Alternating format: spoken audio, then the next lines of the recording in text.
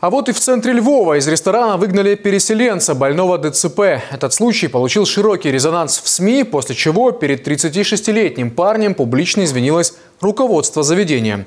Мы решили провести эксперимент и выяснить, как в одесских ресторанах и магазинах отнесутся к человеку с физическими недостатками. Что из этого вышло, смотрите в сюжете Юлии Федоровой. Инвалид э, я с детства, вырос в интернате. Родителей у меня нет, э, они меня покинули, кинули, отказались от меня в два месяца после моего рождения. И воспитывался всю жизнь в интернате. Максим Милецкий с детства привык сам защищать свои права. У него ДЦП. Говорит, что для людей с таким диагнозом доступность общественных мест – самая большая проблема. Ее нужно поднимать.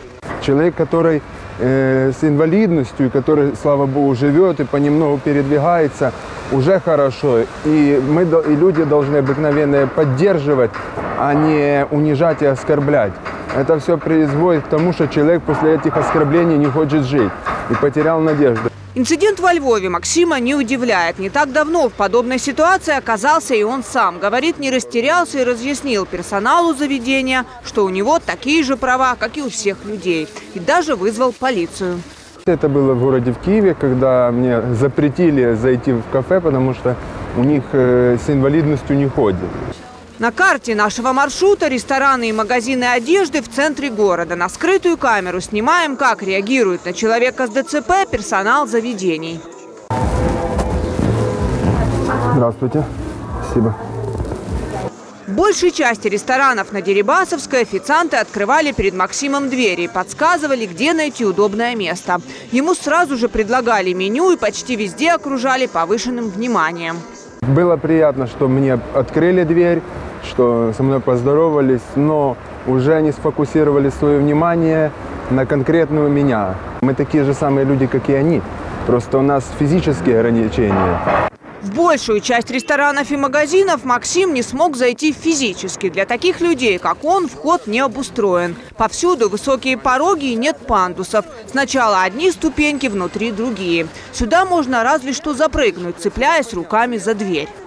Я сюда подниматься не буду, потому что у меня нет возможности. Оно ничего не предусмотрено. А стать еще хуже инвалидом у меня желания нет. Попытки забраться на порог кафе на Екатерининской так и не увенчались успехом. То же самое еще в 10 ресторанах и 6 магазинах одежды на этой же улице.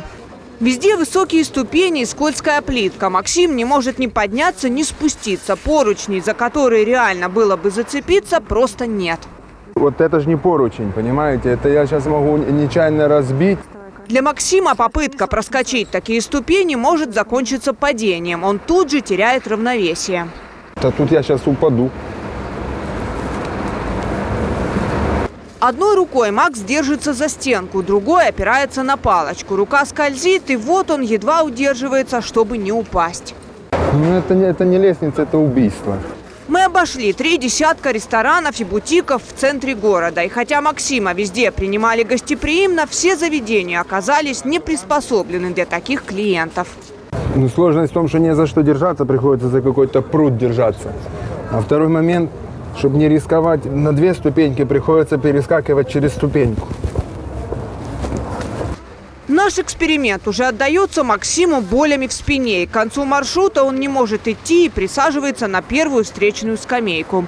Но Макс оптимист, опускать руки не собирается. Говорит, люди с инвалидностью должны любыми методами отстаивать свои права. Побольше находиться в социуме, показывать, что вы есть. Мы должны сами себя интегрировать в общество. Нужно в городе переделывать эти заведения и не давать разрешения городскому совету для, на открытие, пока не будут сделаны требования международных документов, которые предусматривают и защищают права людей с ограниченными возможностями. Тяжелый диагноз не помешал Максиму Милецкому заняться правозащитной деятельностью, возглавить комиссию по проверке интернатов, стать депутатом районного совета и руководить партийной организацией. Сегодня он помогает социально незащищенным людям в решении самых разных вопросов. Нужно стремиться к цели, которую вы ставите, и вы будете достигать ее.